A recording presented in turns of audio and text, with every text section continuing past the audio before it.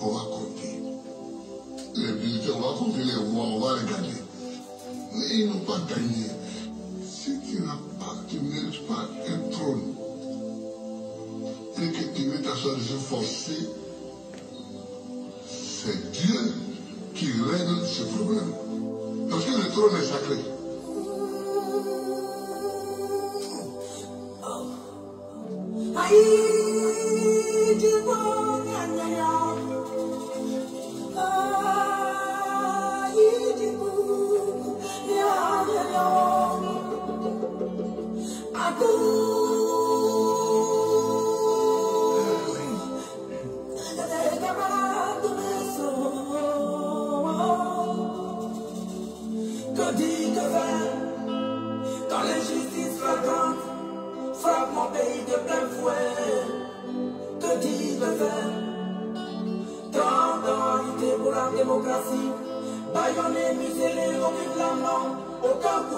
M'a jamais effleuré les mains Que dit que faire quand j'ai tout sacrifié Moi qui un jour de septembre 2002 fut attaqué 40 des démocrates sont assassinés, des populations sont massacrées et que je suis l'accusé. Que dit que faire Merci. Merci. Merci. Bonsoir, chers compatriotes ivoiriens. Bonsoir, chers panafricanistes. Bonsoir l'Afrique. Bonsoir le monde. Que dis-je? Bonsoir la Côte d'Ivoire. 11 avril 2011. 1er avril 2021. Dix années durant, la Côte d'Ivoire a été bouleversée en dix ans, pendant que les uns considéraient que la Côte d'Ivoire avançait, elle émergeait, beaucoup d'Ivoiriens, beaucoup d'observateurs de la situation sociopolitique en Côte d'Ivoire ou à l'extérieur notaient que la Côte d'Ivoire allait très, très, très, très, très mal. Dix ans après, il y a une sorte de délivrance sur cette nation. Et ce soir, je me retrouve avec mes amis, mes compagnons de tout le temps, le président Pascal Logbo du NPR, c'est un parti politique, le président Christian Vabé du RPCI-AC, c'est un parti politique, et moi-même, docteur Boga Sako Gervais, président de la FIDOP, la Fondation ivoirienne pour les droits de l'homme et la vie politique.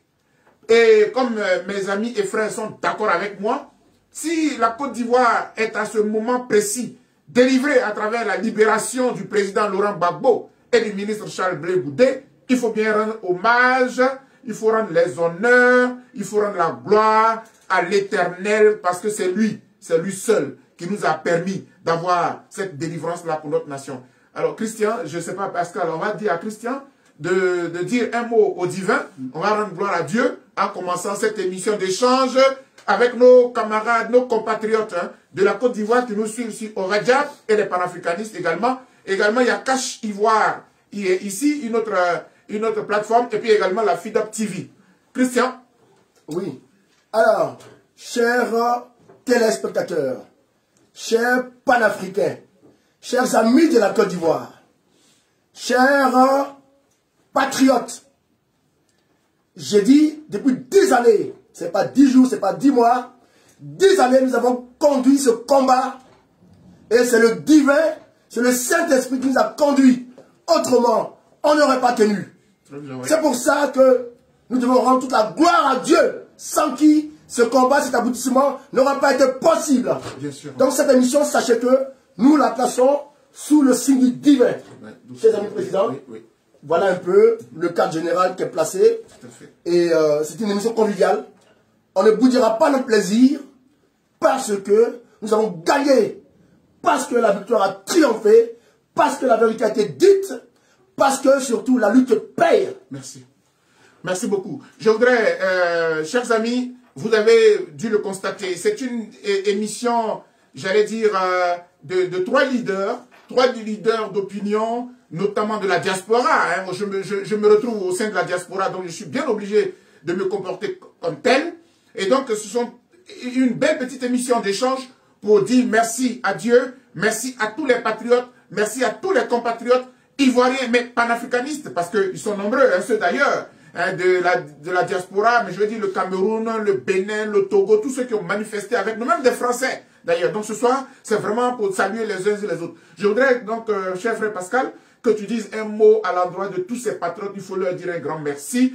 Toi qui as été parmi toute j'allais dire, tous les frères de la diaspora, en tout cas ici en France, c'est toi qui as ouvert la voie de la haie. Un matin, tu t'es levé pour nous pour dire qu'il faut qu'on aille à la haie, puisque le président de la Côte d'Ivoire a été euh, déféré à la haie, on ira à la haie. En tout cas, raconte-nous cette belle histoire et dis un grand merci à tous les patriotes ivoiriens.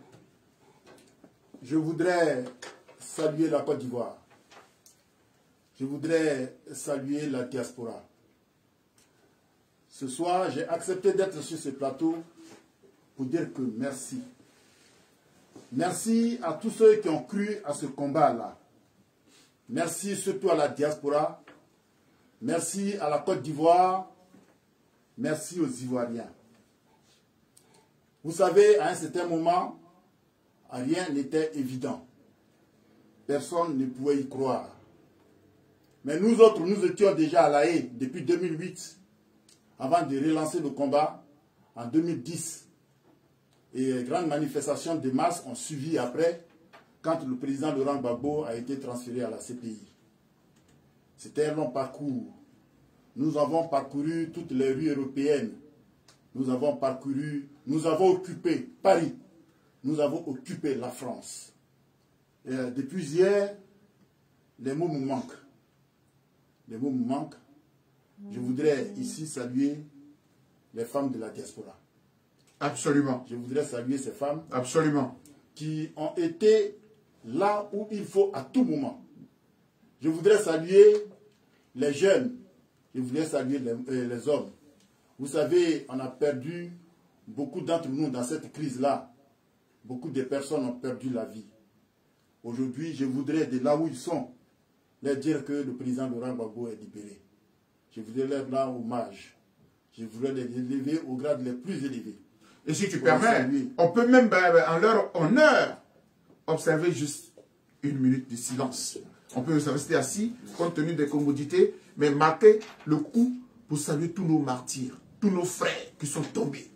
Depuis la, la Côte d'Ivoire, la crise de 2010, et surtout même dans la diaspora, on a perdu des patriotes qui manifestaient avec nous et qui sont tombés que Dieu les accueille dans son royaume, parce que cette victoire est aussi la leur. On observe juste une minute pour eux.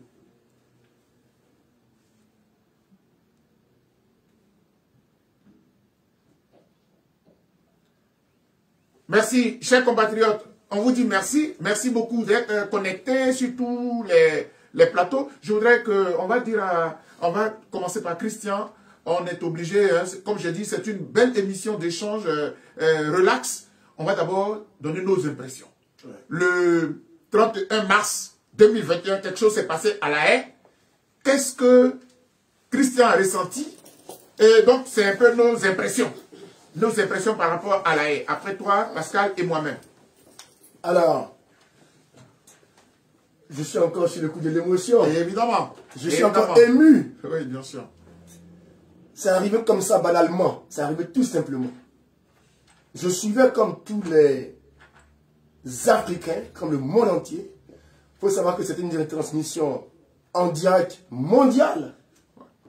Il faut préciser d'ailleurs qu'on a été obligé de, la suivre ainsi, en différé, puisque on n'a pas pu avoir accès à la salle. Et le, on, partait effectivement à la haie, on était bloqué sur le chemin parce que notre chauffeur n'avait pas le test PCR. test PCR contre le Covid, donc on a dû, on n'a pas pu accès, avoir accès à la salle.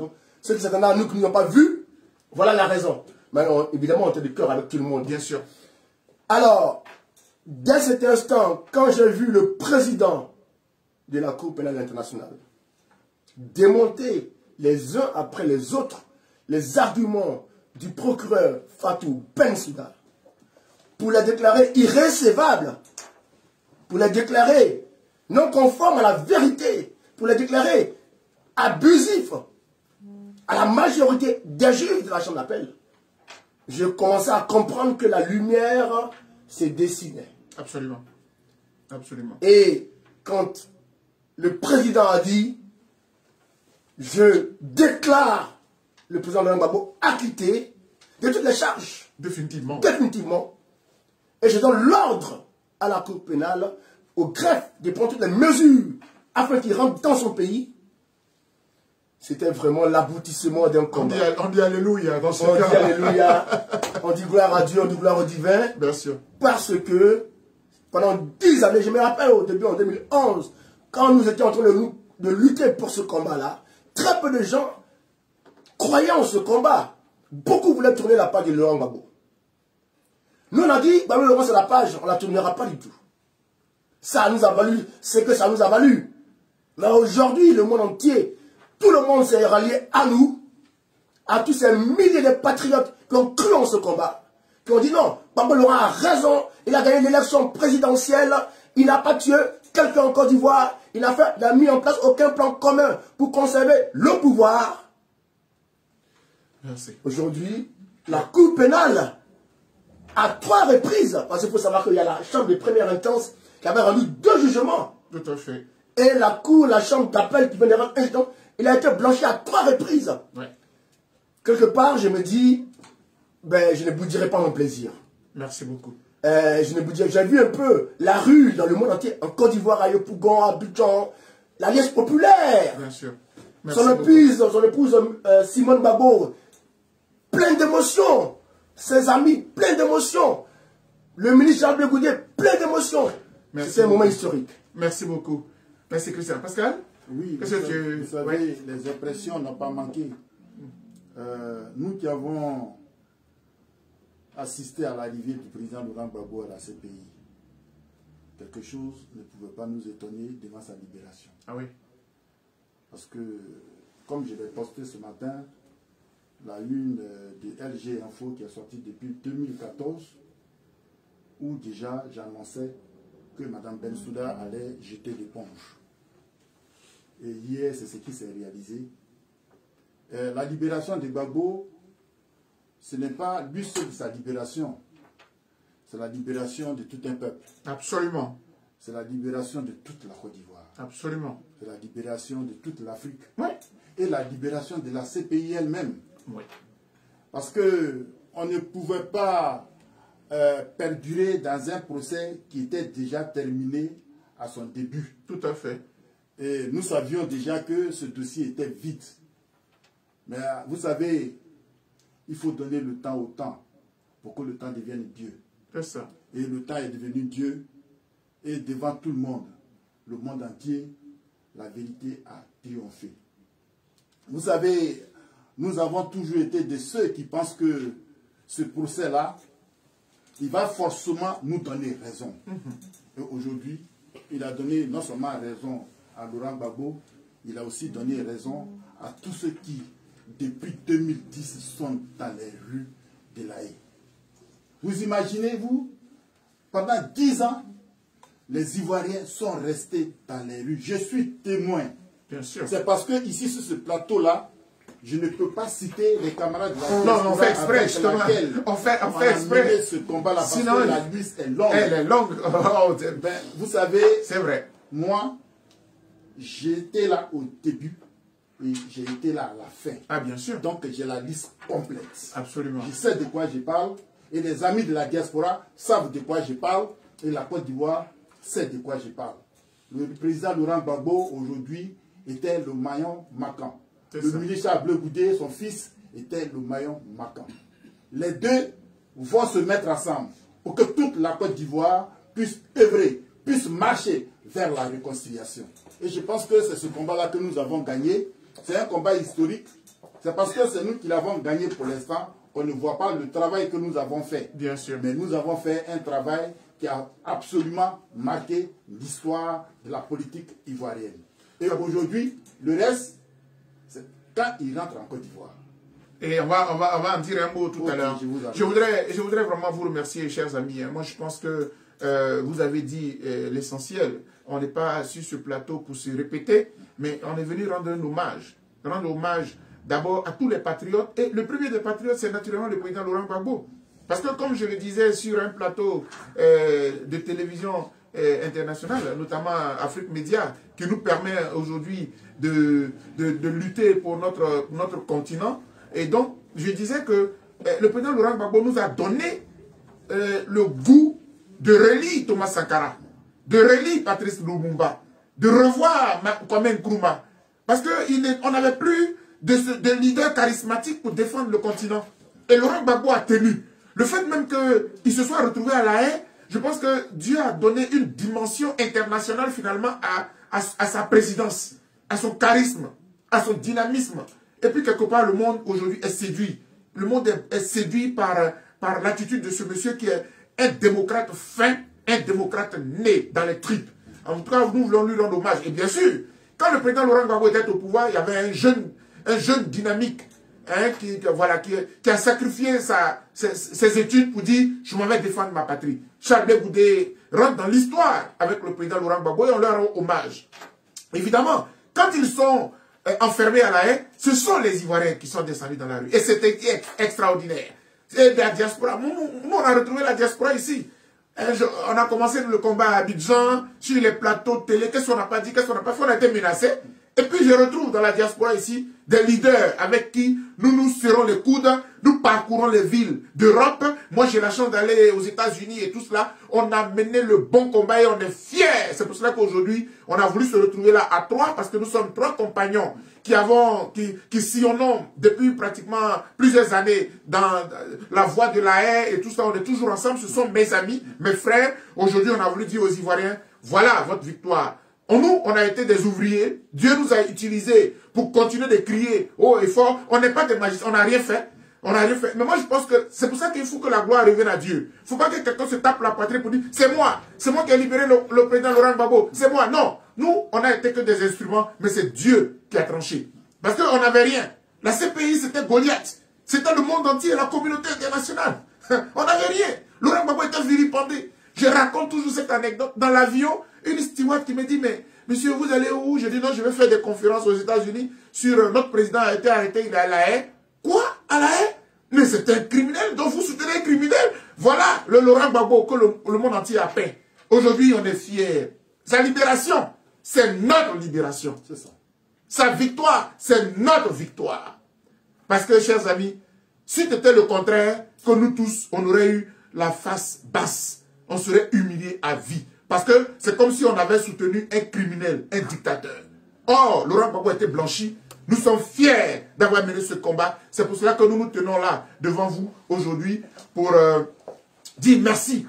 Merci non seulement à Dieu, mais merci à tous les Ivoiriens qui ont cru dans ce combat. Je voudrais maintenant, chers amis, euh, que on fasse euh, une euh, petite euh, analyse tout de même du, procès. Et si vous me le permettez, je vais dire juste un mot quand même sur ce qui s'est passé, parce que on est là pour analyser le procès, apprécier. Donc quand je vais finir cela, on va voir les perspectives, et puis on aura vraiment fini cet échange. Et puis je pense qu'on va finir en beauté, quand même, pour dire voilà. En fait, ce que je voulais, sous votre permission, dire à nos compatriotes, ce qui s'est passé le 31, à la vérité, hein, ça c'est vraiment une lecture que je vous fais, mais de façon simpliste.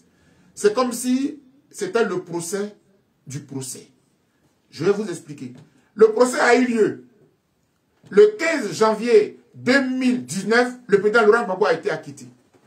La procureure contre qui le, Laurent Gbagbo euh, se battait, elle dit qu'elle n'est pas d'accord avec la décision des juges. Donc, elle met en cause la décision des juges. si vous comprenez très bien, ce n'est même plus Laurent Gbagbo qui était maintenant dans le procès euh, avec la Cour d'appel. Ce n'était plus Laurent, Laurent Gbagbo qui était en cause. C'est la décision rendue par les juges de première instance qui a été attaquée par euh, la procureure. Et qu'est-ce que la procureure a dit? Je vous rappelle quelques éléments. Hein. La procureure dit que les juges de première instance, là, ils n'ont pas dit le droit. Et qu'ils ont violé un article de la CPI qu'on appelle l'article 74-5. C'est-à-dire que, et puis, bon, je, donne un, autre argument. Ils ont rendu la décision d'acquittement, mais ils n'ont pas, pas, ils l'ont pas justifié. Hein. Ils, disent qu'ils ne l'ont pas motivé par écrit. Pourquoi ils ont fait comme cela? D'habitude, quand on rend une décision, on, l'écrit d'abord. Donc, ils n'ont pas, voilà, c'est pas normal. Ensuite, la, la procureure même est allée jusqu'à soupçonner les juges de première instance, notamment le juge Tuno, Tuno Tafisa, et puis le second euh, qui s'appelle euh, Anderson, le juge Anderson, les deux, puisqu'il y avait trois juges de première instance, deux étaient favorables, un était négatif, la dame. Donc, elle dit qu'ils ne sont pas très impartiaux. C'est-à-dire qu'ils ont penché un peu du côté de Laurent Gbagbo. Voilà des accusations. Et puis elle a déposé cela dans les mains de la Cour d'appel. Et la Cour d'appel a tranché. Donc le 31 mars 2021, la Cour d'appel a tranché. La Cour d'appel dit le président Laurent Gbagbo et le ministre Chablé Goudé ont été acquittés dans les normes, conformément à la loi. La décision rendue était légale. Elle est conforme au traité de Rome. Tout est clair, tout est propre, il n'y a rien à reprocher. Le président Laurent Gbagbo et le ministre de Goudé sont libres, définitivement. Je pense que c'est ce qui a été dit, chers amis. C'est ce qui a été dit, chers amis. On est tout à fait d'accord là-dessus et le droit a été dit. Mais mieux, c'est Christian Vabé qui le rappelait tantôt, je vais finir par là. Dans la décision qui a été rendue, il y a quelque chose. la Cour d'appel, non seulement elle a confirmé l'acquittement total, et puis elle ajoute les limitations de leur mouvement qui faisait qu'ils étaient bloqués, l'un à Bruxelles, l'autre à La Haye, désormais c'est terminé. Le greffe de la CPI doit prendre les dispositions pour les faire retourner, en tout cas pour les conduire dans le pays où ils veulent aller. Hein? Pour les faire retourner dans leur pays. C'est ce que ça veut dire. Pourquoi? Parce que jusqu'à aujourd'hui, si quelque chose arrivait à M. Laurent Gbagbo à Bruxelles, c'est la responsabilité de la CPI. Si quelque chose arrivait à M. Chablé Boudé à La Haye, c'est la responsabilité de la CPI. Parce que c'est la CPI qui est allée les chercher en Côte d'Ivoire pour Laurent Gbagbo le 30 novembre 2011. Et puis Charles Blé Boudet en 2012, je crois. Voilà, en mars 2012. Donc, la CPI, depuis le 31, se lave les mains. Elle a fini son travail. Il faut qu'on ramène ces deux personnalités dans leur pays, de sorte que la CPI ait fini définitivement son boulot. C'est pour cela que maintenant, chers amis, je, retourne vers vous pour que nous puissions dire quel est le message que nous devons envoyer à M. Alassane Ouattara pour que notre pays puisse rebondir avec cette bonne nouvelle. Qu'est-ce qu'on doit dire à M. Ouattara? Je vais commencer cette fois-ci par Pascal. Le message que nous devons adresser à M. Alassane Ouattara, le chef de l'État de Côte d'Ivoire. Je crois que le message, il est clair. Ouattara a déjà profité des largesses du président Laurent Gbagbo quand il était en exil. C'est Ouattara et Babo, après son accession au pouvoir en 2000, qui a organisé le Forum de la réconciliation nationale et qui a aidé Ouattara à mettre fin à son exil pour rentrer en Côte d'Ivoire. Et aujourd'hui, Ouattara étant le chef de l'État par, euh, les faits, Mhm. Des faits, Oui, de tout à fait. des doit tout mettre en œuvre pour que Babo et Bleu Goudé rentrent en Côte d'Ivoire Tout à fait. pour que le pays avance, pour qu'on arrive à la réconciliation. Aujourd'hui, c'est de ça que tous les Ivoiriens ont besoin. Et c'est de ça que euh, le peuple africain a besoin. Il- donc, il y va lui-même de sa responsabilité et de son honneur de faire rentrer Laurent Gbagbo, ancien chef de l'État, dans les conditions qu'il faut, dans les conditions adéquates. Donc là, moi, aujourd'hui, je demande plutôt au gouvernement de jouer par la terre pour que les Ivoiriens s'asseyent pour discuter, pour faire avancer le pays. Nous tous, nous voyons que la Côte d'Ivoire est bloquée. C'est ça. La Côte d'Ivoire est bloquée. C'est ça, Nous clair. sommes, notre école est l'avant-dernière de l'Afrique francophone. La Côte d'Ivoire, Franchement, c'était le miroir. franchement. La Côte d'Ivoire. Et notre pays aujourd'hui est un narco-État. C'est-à-dire, on nous regarde désormais comme un pays de, de vendeurs de drogue. Du coup, il y a des choses à faire ensemble pour relever l'image de la Côte d'Ivoire. L'image ternie, je vais dire. Et. Ouattara, c'est à lui qu'on tend cette perche en libérant Babo, en lui demandant, euh, en lui demandant tout simplement de recevoir euh, le fils du pays. C'est notre constitution d'ailleurs qui le dit. Aucun, aucun citoyen ivoirien Ouais. ne doit être contraint à l'exil. C'est clair. Babo aujourd'hui est acquitté, il est donc un citoyen libre de la Côte d'Ivoire. Et Blé Goudé, c'est pareil. En 48 heures, qu'on remette un passeport à Blé Goudé pour que fait. nous préparions ensemble leur retour en Côte d'Ivoire. C'est- ça la diaspora C'est tellement, c'est tellement propre. Nous avons fait un travail ensemble. Nous allons le terminer ensemble. Voilà moi l'appel que j'ai toujours lancé à la diaspora. Personne n'a gagné. Nous avons gagné ensemble. Bien nous sûr. avons mené ensemble un combat. Et l'objectif de ce combat-là, c'était de voir Babo libre. L'objectif de ce combat, c'était de voir Bleu Goudé, notre frère, notre ami, notre compatriote libre, pour qu'il rentre tranquillement à- au village. Très bien. On va les accompagner au village. Donc voilà moi ce que je voulais dire à Alassane Ouattara. Bon, la Côte d'Ivoire est bloquée. Si lui ne le sait pas, nous on le sait et le monde entier le sait. La Côte d'Ivoire est bloquée. Babo arrive pour l'aider à la réconciliation. Parfait. Voilà ce que je voulais dire sur ce c'est point. eh ben, c'est tellement beau. Ouais. Mon cher Christian, Oui. en tant que euh, responsable euh, euh, de, de- de partis politiques vivant dans la diaspora, en tant que responsable d'un groupe de presse Ivoire Business, quel est le message que donc, tu envoies aussi euh, au chef de l'État Alassane Ouattara Moi, je le ferai aussi, mais je pense que en tant que mes, mes amis, mais, ce que vous, vous dites, je, je- je le cautionne et je l'assume aussi. Alors, moi, ce que j'allais dire, c'est que quand je reviens au procès, il faut savoir que deux points ont été abordés dans le verdict. C'est ça. C'est le point selon lequel la- le greffe a obligation Longo rentre en Côte d'Ivoire. Premier point. Le second point, c'est que le Gbagbo ne peut pas être l'objet d'aucune poursuite dans aucune juridiction internationale dans le monde. Sur les faits de 2010-2011, Voilà. Ça veut dire qu'on ne peut pas juger Gbagbo Laurent encore, quel que soit le pays, y compris la Côte d'Ivoire. Oui, sur les mêmes faits, oui. Les mêmes faits.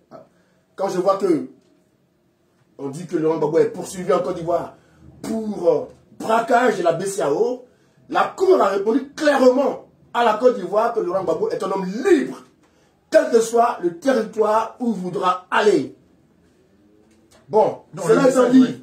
le message qui est là, c'est que le président Laurent a déjà planté le décor. Il a dit qu'il rentre pour réconcilier son pays, parce que son pays va très mal.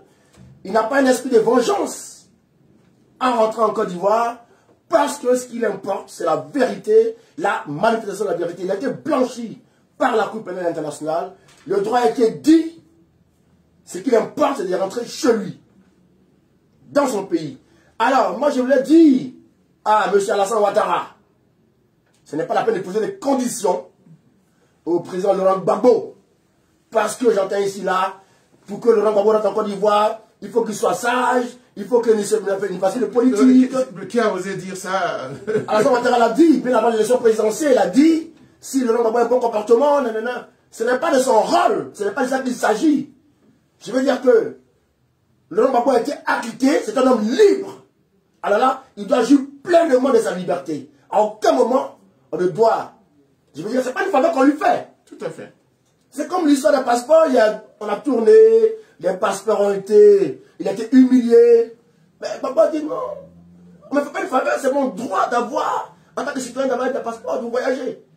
Quand Laurent Gbagbo était président, il a remis des passeports diplomatiques à Alassane Ouattara et à toute sa famille, y compris à sa mère. Ouais. Donc aujourd'hui, on lui fait des problèmes pour des passeports, mais c'est ridicule. Il faut qu'on arrête ça. Très bien. Donc, Laurent Gbagbo, il va rentrer en Côte d'Ivoire parce qu'il a été acquitté. Les Ivoiriens l'attendent dans la ville alliance populaire qui a eu lieu en Côte d'Ivoire. Il ne va pas dans un esprit de vengeance. Il rentre simplement chez lui. Et il a ouvert. Et je demande à M. Alassane Ouattara d'avoir cette même posture parce que la vérité a triomphé. Il faut maintenant qu'on sache puisque Babo Laurent n'a pas tué quelqu'un, et Blégouzi n'a pas tué, pas tué quelqu'un, qui donc les a tués Voilà la vérité que nous on cherche. Très bien.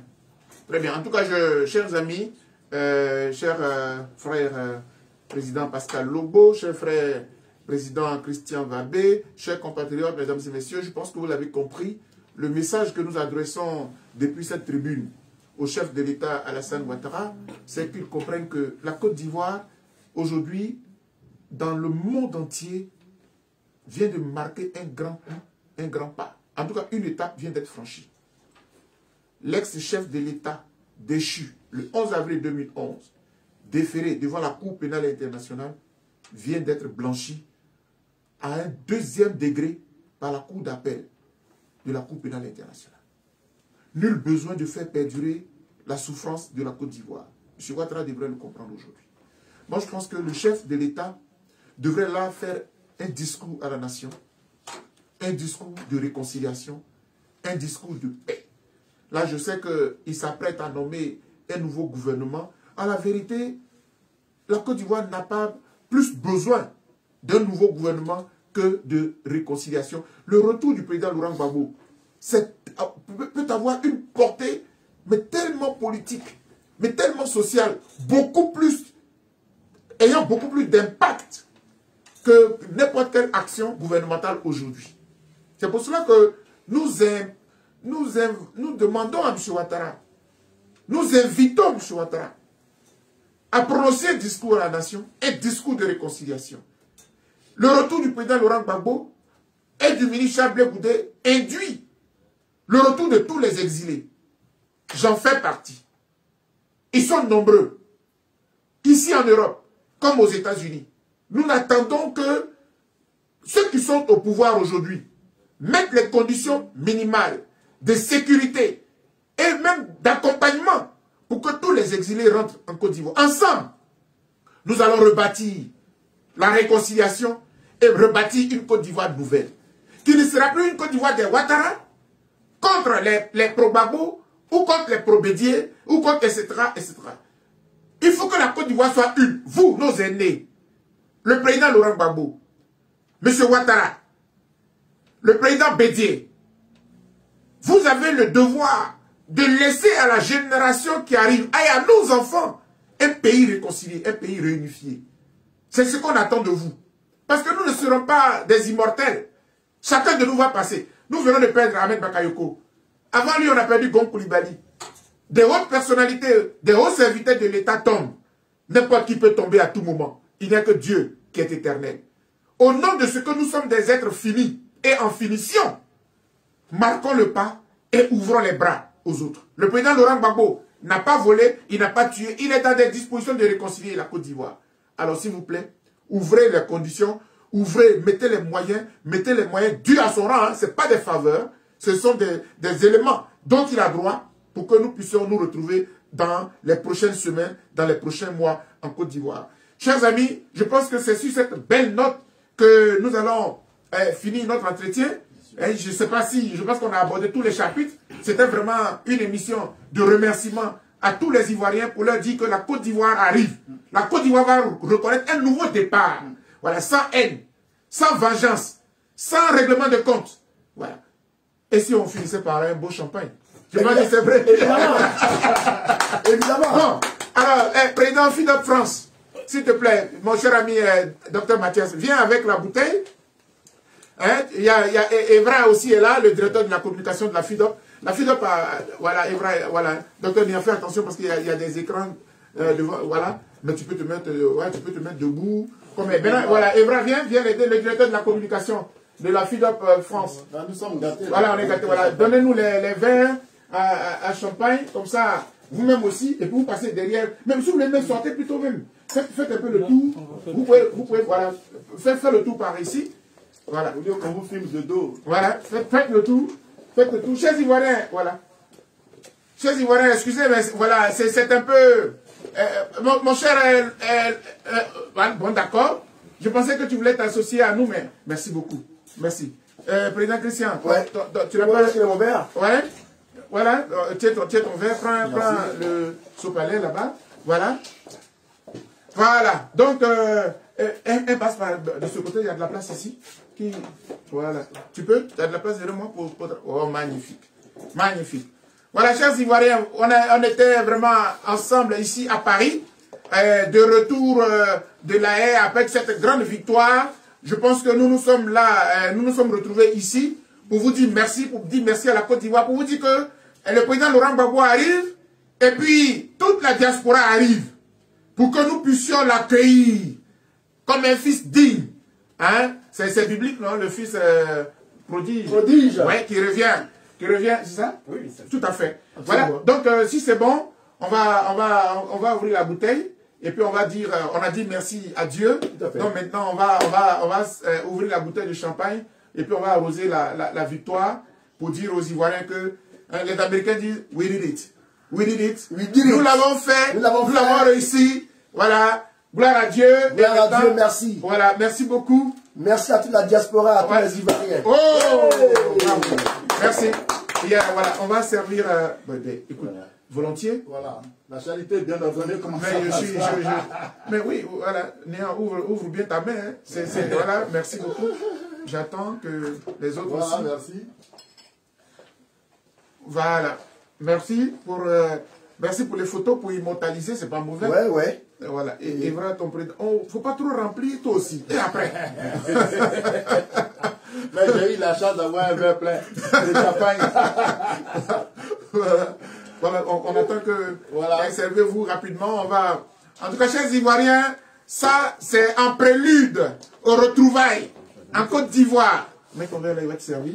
Hein? En prélude aux retrouvailles en Côte d'Ivoire, le président Laurent Gbagbo arrive. Chers amis, quand il y a un décès, on pleure. S'il y a une joie, il faut rendre gloire à Dieu. Et puis, il faut aussi se réjouir. Il y a des moments où on a trop pleuré dans la diaspora, on a trop pleuré dans ce combat. Si aujourd'hui on lève ces verres-là, c'est pour dire merci. Merci à la diaspora. Merci à vous tous. Merci, franchement, merci beaucoup. Merci. En tout cas, Dieu nous a gâtés, il nous a bénis. Laurent Gbagbo est acquitté. Là, il peut aller en prison. Pour les faits de 2010-2011, c'est enterré. Et puis bon, M. Ouattara sait très bien que cette affaire de BCAO, tout ça, là, on va lever. Parce que BCAO, là, on sait ce qui s'est passé. hein. Bon, chers amis, à la victoire Oh À la victoire Oh Voilà. Merci, merci, merci, merci. Allez. Merci beaucoup, chers Ivoiriens. À la vôtre. À la vôtre. À cette grande victoire. Béni soit Dieu. Merci Seigneur. Quand l'injustice flagrante frappe mon pays de plein fouet Merci encore. Merci beaucoup. Voilà, on lève les verres comme ça et puis on va sortir de l'émission. Oui, mais Akira, m'a fait les photos. Merci beaucoup. Voilà. Merci. Merci. Septembre Merci beaucoup. Merci. Merci. Merci Seigneur. Populations sont massacrées Merci Et que beaucoup, je mon Dieu. suis l'accusé Attendez, ouais, toujours. Merci. Voilà. Bye.